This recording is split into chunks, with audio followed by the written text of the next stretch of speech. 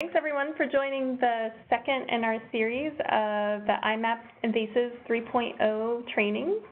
Uh, we, of course, recently launched the newest version of IMAP Invasives, and it's a complete, you know, from scratch redesign. So to make everything a lot easier to use and hopefully have more uses of it than we ever had before. So we're very excited about it.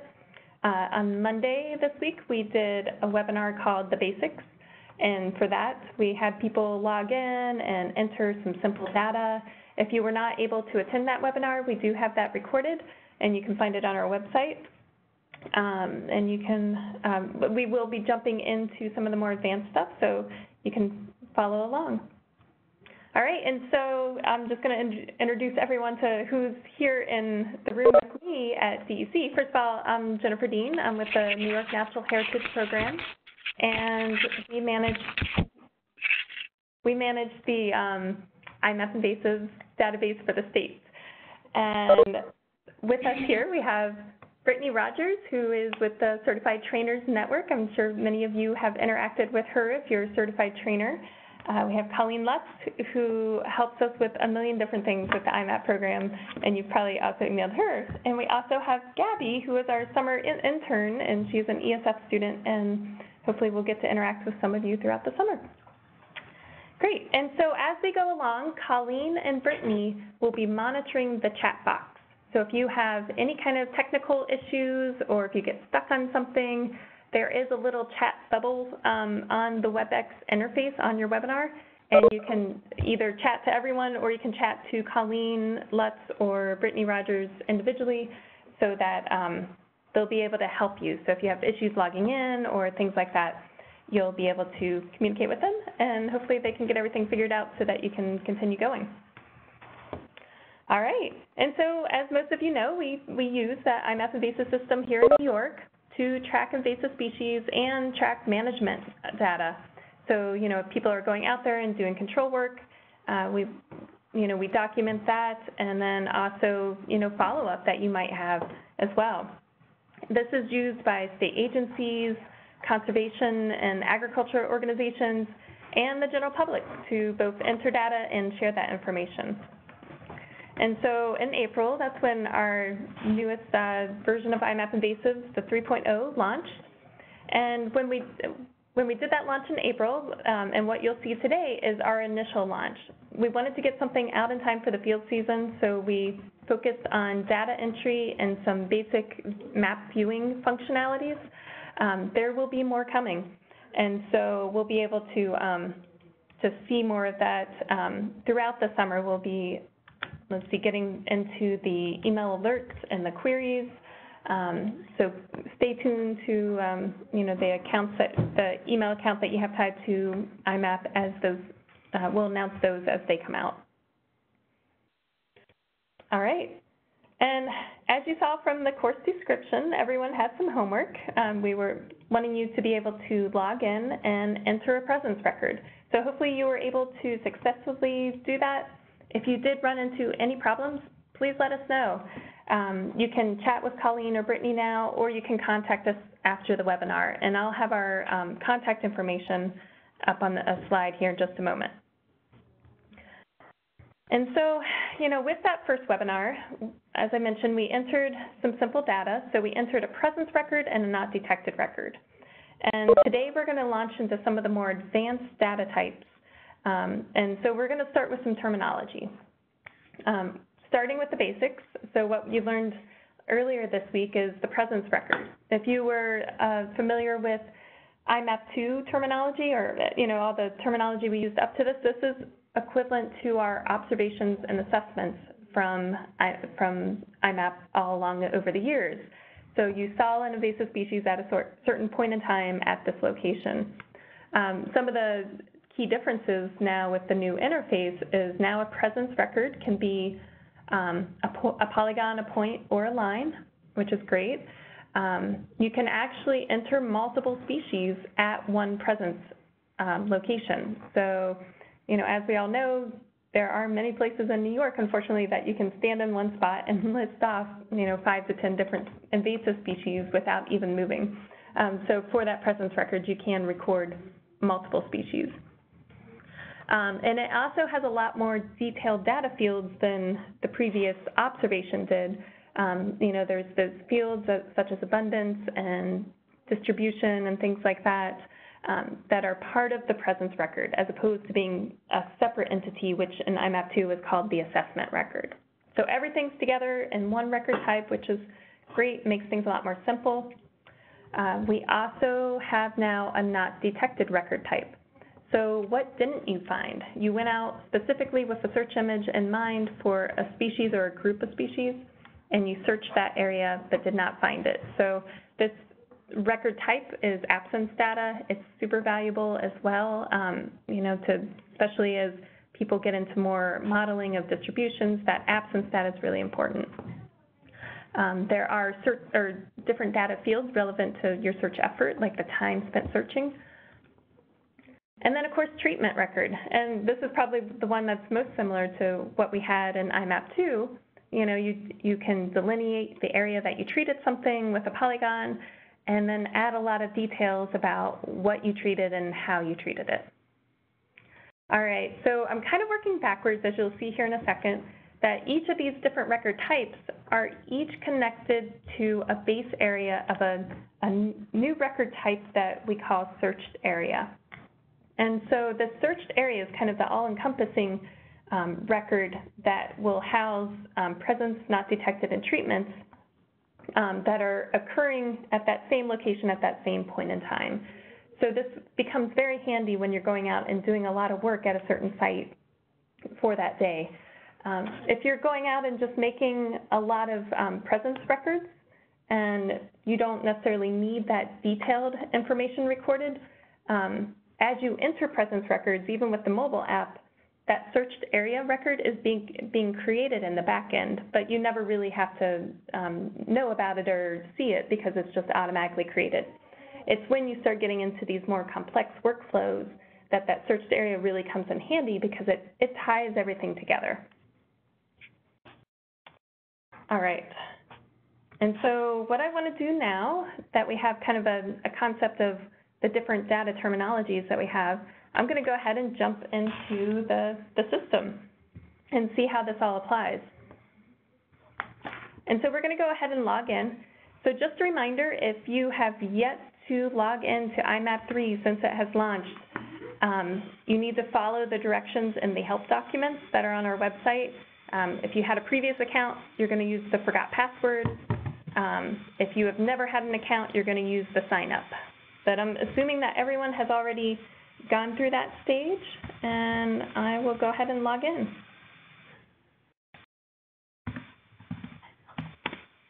Oh, if I can get my, there we go. All right. So as we get into these more advanced data types, the first thing that I want to have everyone check is um, their accounts information. And so with IMAP Invasive 3, um, you need to be tied to some type of organization, even if it's a generic organization, to be able to enter treatment records. And so to check your affiliation, you want to go to the icon in the upper left-hand corner that has the menu bar, and you want to go down to Your Account. So go ahead and click on Your Account if you're in there, and make sure that if you are affiliated with an organization that you have a, a primary organization listed there. Um, and so this is where we're, we're going to try out our tech support uh, skills here. If, you, if your um, organization is not listed, you can go ahead and chat to Colleen or Brittany um, what organization you would like to have listed there, and they will go ahead and add that now, and then you should be up and running um, within a minute or two after that. Um, so we're, what we'll do is, um, hopefully if you were in IMAP 2 previously, then your organization affiliation has transferred over. Um, if it hasn't, then um, let us know. Or if you are a volunteer and you don't have an organization that you're working for for invasive species work, or if you just you know, your work is as a volunteer, then let us know that as well, and we can add um, what I mentioned as a generic organization that we have, which is called no organization affiliation, um, but that at least gives you access to the treatment data entry. All right, great. So I'm going to carry on. Um, let's see here. So we checked our organization.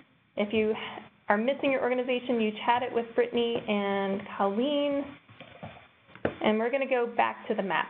So I clicked on the icon again. I, I selected the map. And as you notice from, you know, difference from IMAP 2 is that IMAP 3, really everything starts from the map, which is great. You know, it is a spatial database that really emphasizes the information that we have.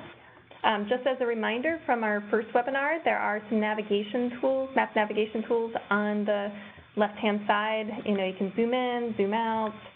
Um, you can uh, go to where you know, you really want to use this when you're ready to enter data to go to where you want to enter that information.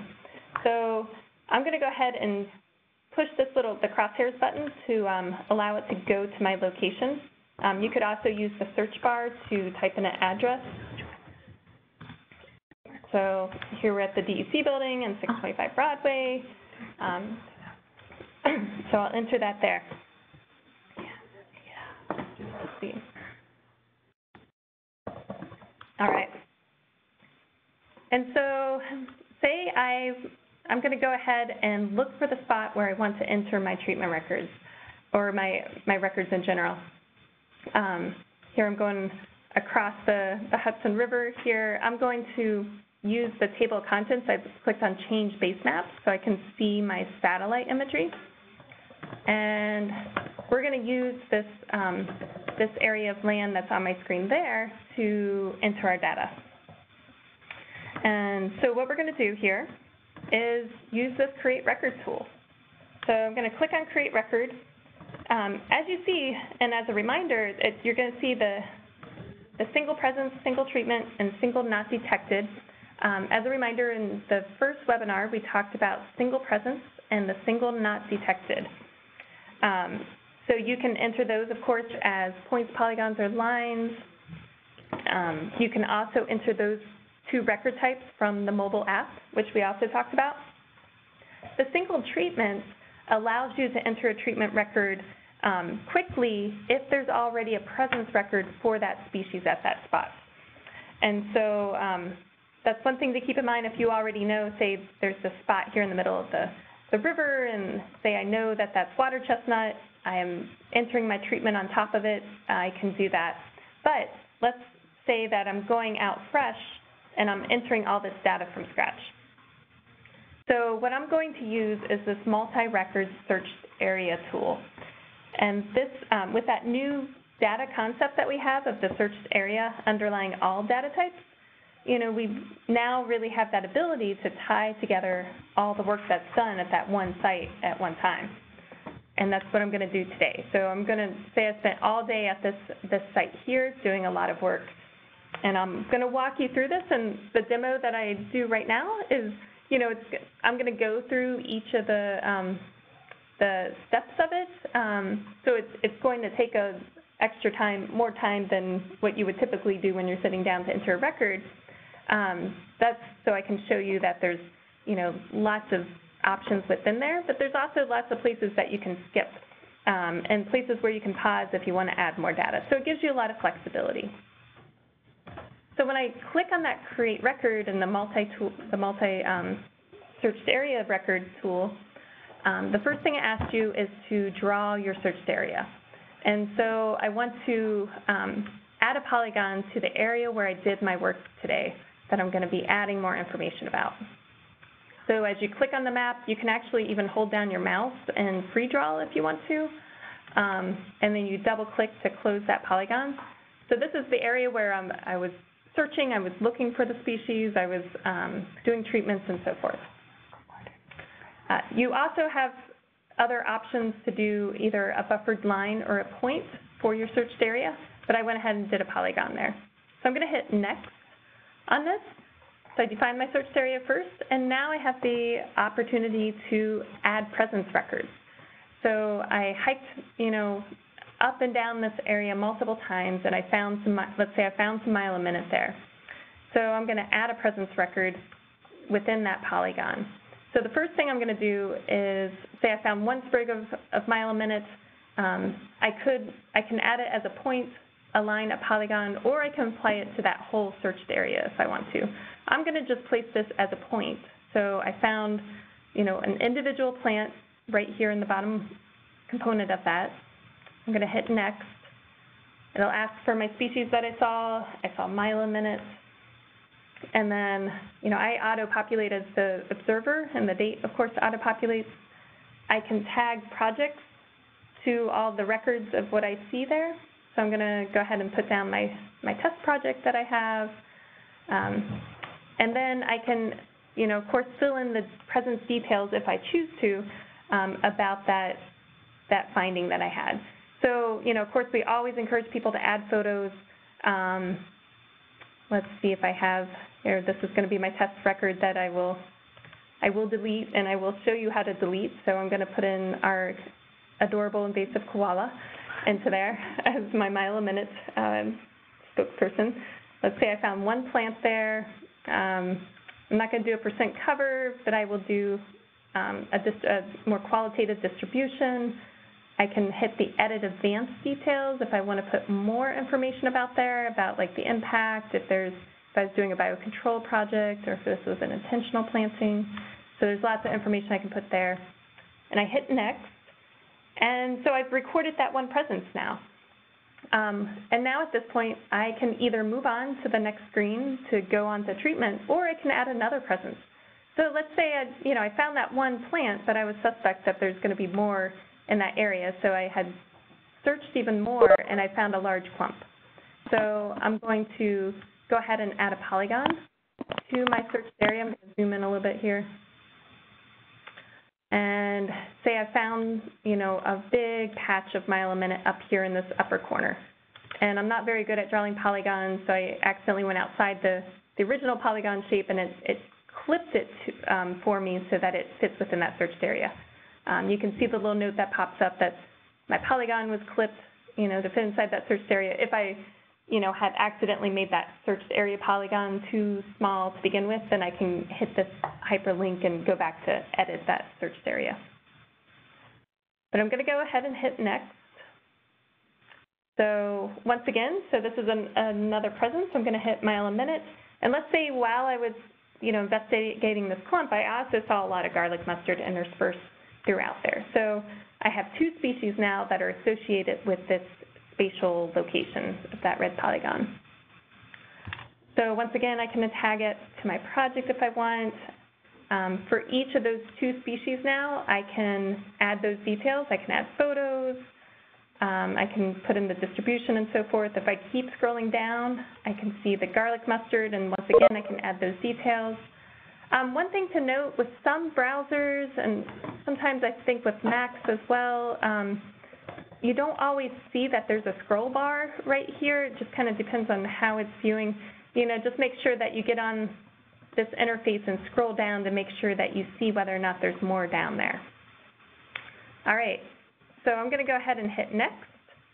And I now have my two presence records um, recorded there within my search area. And luckily, those were all the invasive species I saw, so I'm going to go ahead and continue on. And the next thing it'll ask me for are my, um, whether or not I did any treatments. If I did not do any treatments at this point, I could just hit next.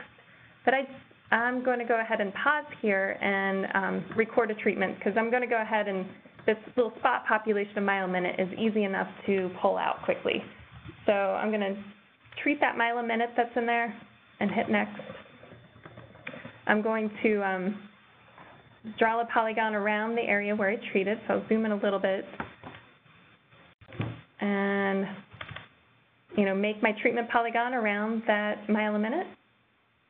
And I can hit next as well. So it's actually, it's, sh it's showing me um, in this gray text here that there, it says zero previous records and one current record that, that match that species essentially. So it's it's confirming that, yes, you do have a, a, species under there. If this was an older species record that I was drawing the treatment polygon under it, then it would say one previous record and one or zero current.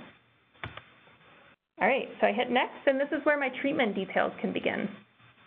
So it, you know, of course, populates to today's date as the begin date. If you want to put an end date, you can if it's longer than one day.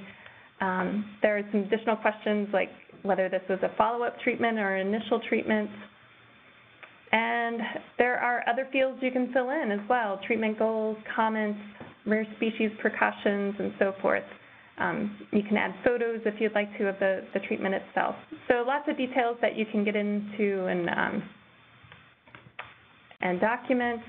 Uh, and then we get into what type of treatment you did, whether it's a physical, chemical, or biological treatment.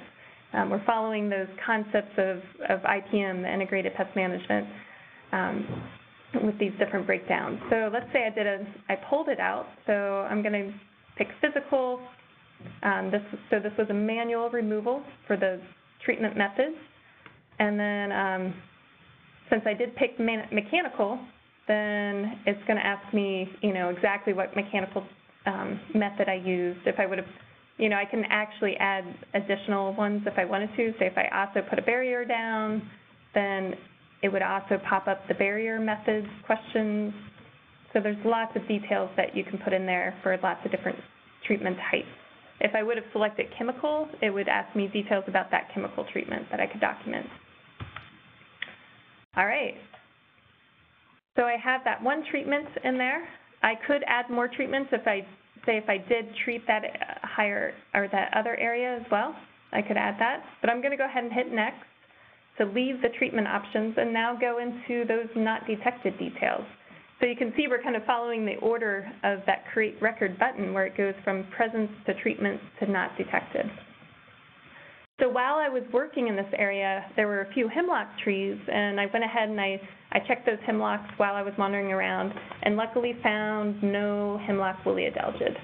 So I'm going to document that it was not detected in my site. And let's say, you know, in that course of wandering, so let's say I spent 20 minutes um, searching the hemlock trees specifically. So this is my not detected record. Once again, I could tag it to a project. I can add photos. So, you know, here I might want to add a photo of the hemlock tree just so that I know that I, I knew which species I was looking at, that kind of thing. Um, we talked about this in the first webinar, that reason for not detecting. Perhaps this is, um, oops, once again, that sometimes the scrolling can be a little difficult. Here we go. The species has never been detected here previously. Any additional comments? All right, so I hit next on that. I finished up my not detected record. And now I'm at the point where I have a summary for this whole site record that I just did. Um, I entered a searched area, right? So I can um, actually hit that little eyeball here, and it highlights in blue my searched area location. And I can also edit any of these records at this time if I wanted to. Um, for my presence records, I can hit the eyeball for that, and it'll zoom into my koala bear um, mile a minute. and if I scroll on down, I can look at my second presence record and hit that eyeball, and it'll highlight that polygon that I, um, where I entered both the garlic mustard and mile a minute. And if I scroll on down further, I can um, view that treatment record that I entered. So it's a good way to kind of, um, oh, before I finish, sorry, that last one is the not detected record. And so since the not detected record is part of, you know, it's also part of that searched area, the um, not detected component applies to the whole searched area itself. All right.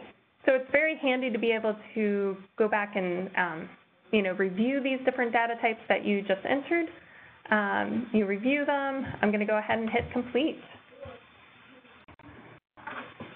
All right. So now it has um, created each of these records. I can um, turn on the legend to see what these different data, data types are. Um, let's see here. If I click on the, the table of contents, I can see the legend, but I can also look at the individual layers themselves. So um, I have the presence species layer, which is actually the confirmed um, presence, presences that we have, um, the unconfirmed records, so I can turn those off and on. Um, the not detected species, so of course, remember the not detected one was for that whole searched area polygon. And you can also change the transparency of these, which is handy if you want to highlight certain ones on the map.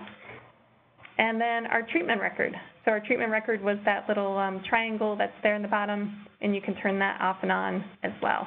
And if I keep scrolling down, then I have the, um, the searched area. So it gives you a lot of flexibility on how you want to visualize it on the map. So if I, um, you know, if I just wanted to look at, say, the treatment and the, um, the, um, the, the observation or that presence record, then I could do that.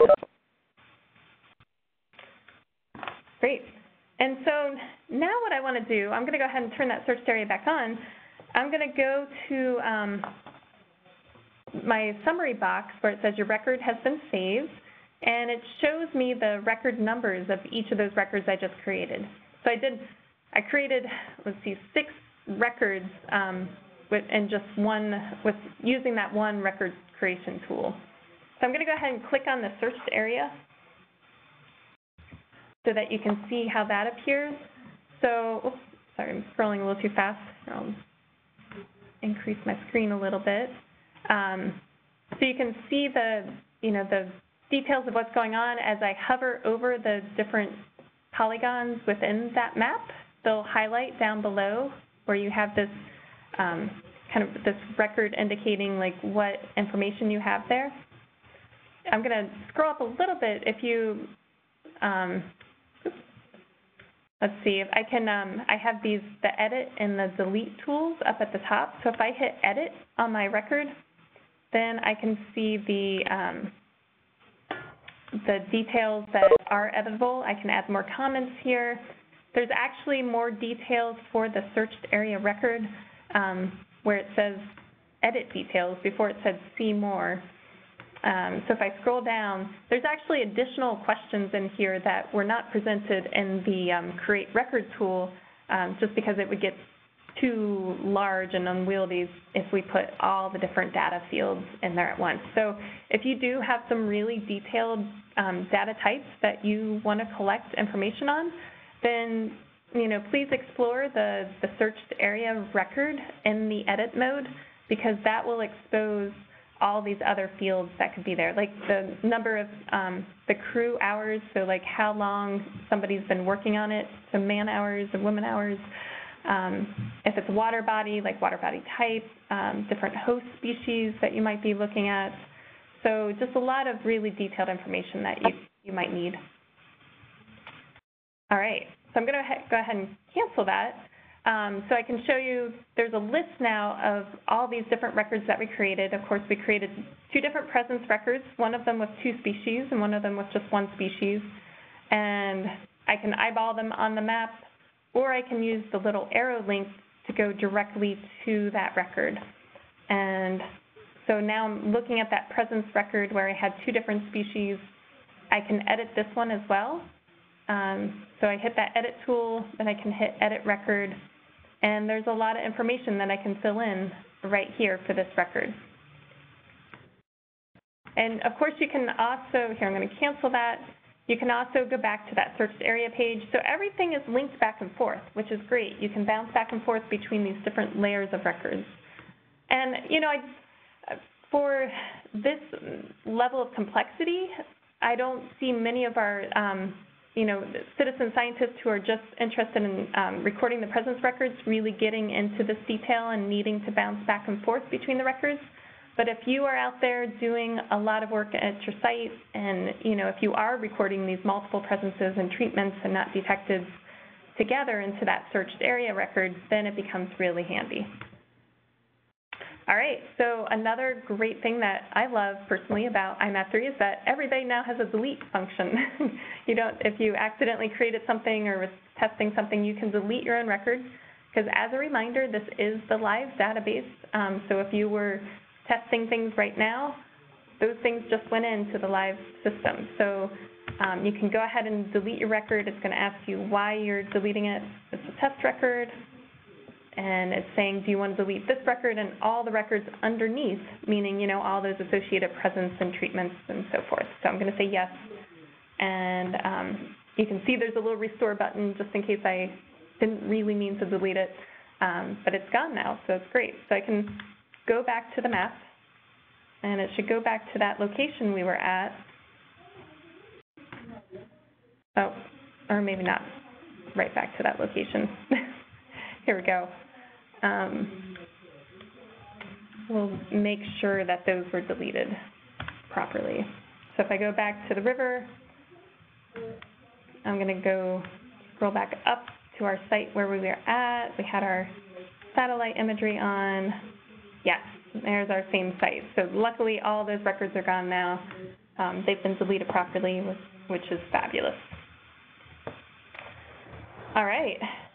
So a few other things that I want to show you. I know we talked about the um, the basic navigation on the map as we were um, during that first webinar, but it, there are some other exciting features on the map that I didn't go into, so I'll go into here. Um, first thing, one th that we did, you know, of course, we did look at on the um, on the first webinar is using this filter records um, tool, and so you can say filter for your species or multiple species. I'm going to need to back back out so I can actually see hemlock woolly adelgid. Let's see here. And so, as you've probably noticed if you've played around on the map, once you get to a certain zoom point, the, the points are all um, creating or turning into these um, hexagons or circles. So it's a way to display that data, you know, at a larger scale so that it's still, the map still loads quickly. Um, otherwise, if we kept everything as points, as we backed out, you know, to that network level, when we get to like into the millions of data points, it would probably crash your browser if it was trying to, to, um, to show each of those individual data points. So, you know, as you zoom out, you, you see those um, distributions, you know, showing up instead of the data points. You can change your base layers, of course, like we did before. So back, you can go back to that topographic base layer. Um, let's see here. The, um, and, just, and when you're at this point, the, um, the present species toggle is what toggles off and on those hexes. Here I can increase the transparency so you can see that a little bit better. And this present species at this point is considering both confirmed and unconfirmed data. And so you have to zoom in, of course, to get back to that point level to be able to distinguish between the confirmed and the unconfirmed. All right. And so I'm going to, oh, another thing I can show you are underneath these um, geographic map layers, this is where you can get different boundaries, like say the state boundaries, um, the county boundaries. Let's see, that's spinning for a moment. Let's get the, the county boundaries on. Um, we have, if you scroll on down, there's something called the Regional Management Partnership. Here, I'll turn off the counties. These are our prisms. Um, and so the, um, we, they're not labeled as prisms because this is a, a nationwide, actually a continental-wide database now, and so um, not everyone calls prisms prisms. You know, they have different names like CWMAs and things like that. Um, so by calling them a more um, general term, it made it more applicable to the whole network. All right, and you can see like Pennsylvania has some of these regional management partnerships as well. Um, so it's great. There's um, you can see see these layers across state lines, and we have something called hydro basins, which are equivalent to watersheds, but more of an international unit. And so um, you can turn those off and on as well. Another thing that you'll see that's very new and you know very exciting is we have this um, area called Exchange Services. And right now, we just have one layer on here, but we think that the potential for this is huge.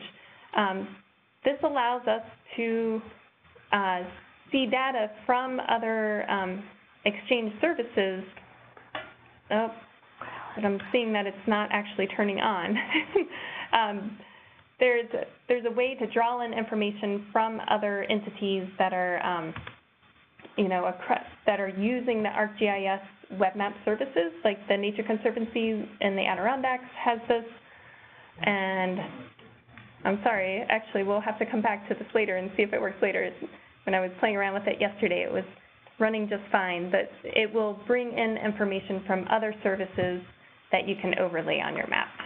So tune back in. you know, this, as I'll, I'll note a couple times, this is always still a work in progress, and, you know, things might go down for a little while and come back online um, as we, you know, fiddle under the, the programmers are fiddling under the hood to, to make everything come together. All right. And so a couple other things that I wanted to show you here um, are the um, different ways that you can identify data. So if I start zooming in, let's zoom into this area here in the Catskills. We have a lot of information. I only have the present species and the unconfirmed present species actually turned on, and I actually even have a filter on right now for the um, hemlock woolly adelgid. But let's say I want to know what all these data points are. So I'm going to go ahead and use this Identify Measure tool.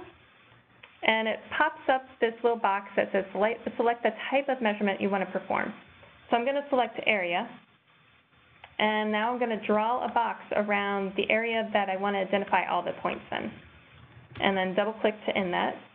And it calculates the area, which is handy. But what I'm really looking for is to see what's here. And so that, what that's going to do is bring up a table of all the different data types or in, um, that is under that area I just drew. You'll see first that there's a lot of tabs going across here that um, you know, have different types of data. So first we have that present species. So these are the confirmed species records that are um, under the shape that I drew. And I can click on the details for each of these. If I click on the, um, the different um, points, then they, they light up. They get um, that little blue box around them. I can also under task, I can say flash the feature. And what that will do, you can see that one is turning red. It's kind of nice, it identifies it that way. If I click on the details, that's what will open up that detailed record page so that I can see all the information that that person entered. So if I let's click on this one for hemlock woolly adelgid, um, you can see the details, you can see the photos that the people entered, and um, get more information that way. And then I want to go back to the map, let's see here.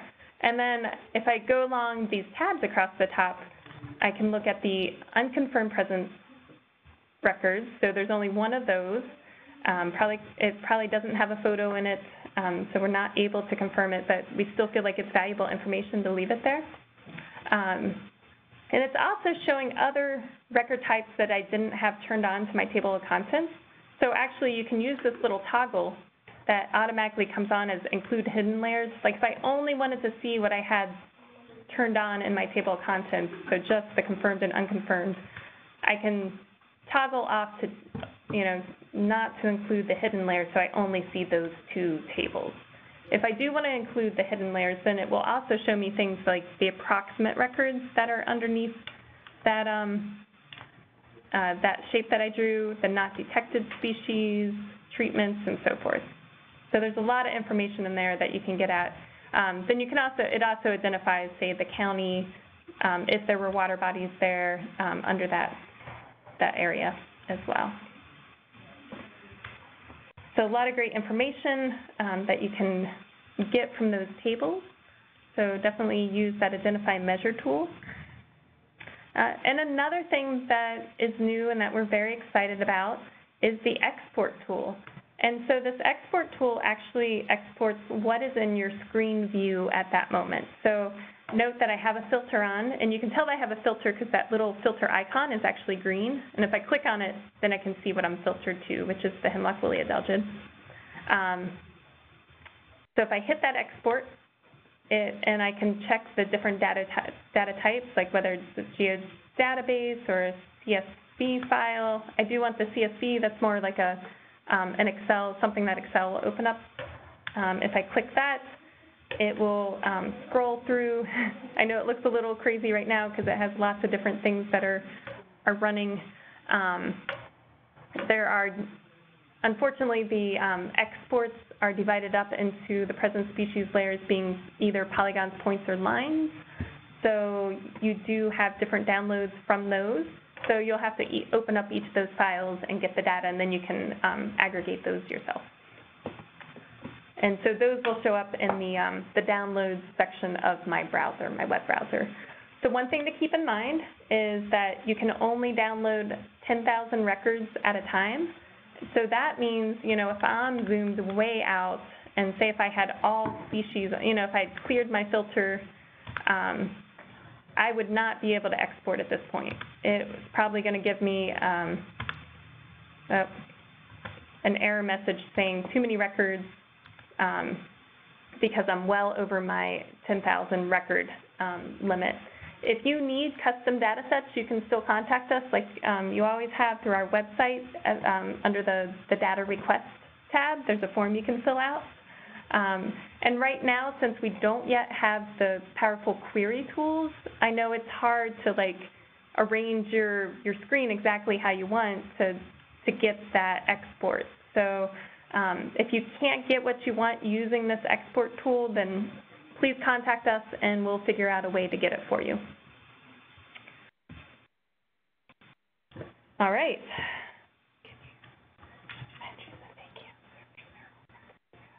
Yes. Oh, okay. Yes, I'm sorry. We have a some chats are coming into the chat box, which we'll get to here in just a moment. So we'll um, get to those questions. One other thing I wanted to show you before we do open it up to questions. We've talked a lot about data, um, but I just wanted to show you another great thing that we have is that we have the species list um, exposed in IMAP 3. And you'll see this terminology a lot, the jurisdiction versus network. Um, so jurisdiction is our state, and so anytime you see jurisdiction logged in as a New York user, um, that means that you're going to be seeing, say, the New York species list. Network means the whole network. So if I click on that, I'm going to see, say, 4,000 some species, because um, any of the states can um, draw on that. And this is drawing from the NatureServe list. NatureServe is the, the organization that created IMAP 3.0 and is running it, and um, they manage data um, across the, um, the hemisphere for rare species and significant communities and so forth, and so they have a lot of um, taxonomic expertise and have helped us create these species lists over the years. Um, but I wanted to say I wanted to go specifically to the New York species list. You can see that we have 485 species tracked in New York. Um, there are different filters that you can play around with. There's a species type filter, which will give you animal, plant, and microorganism. Um, there is a habitat filter. We know there's a bug with that. Um, we will be working on that um, shortly. So Oh, and actually right now I have two filters piled up on top of each other. We have more than two aquatic species in the state, so we'll be working on getting that habitat filter up and running before too long. Um, but then there are also things called confidential species, and there's a handful of species that um, a state agency has asked us to hide the, the information for um, because it's, you know, either they invoke quarantines or, you know, there's some type of legal ramification. And, you know, we never want to get the data wrong, of course. And if somebody's entering something in for an Asian longhorn beetle, but it's really a white spotted pine sawyer beetle, um, you know, if, if somebody sees that point and misinterprets it as a confirmed point, that could be a serious issue. So we want to make sure that um, the agencies who need to see that information can see it, but it's not readily available just yet. All right.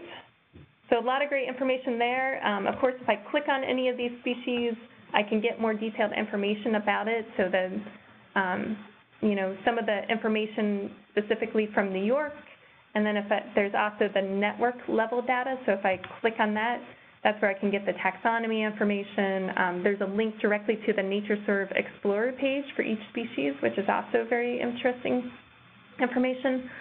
Um, so yeah, a lot of a lot of good information you can get out of that. All right, so I'm going to go back to the map at this point, and I'm going to open it up for um, questions or other chats that we have.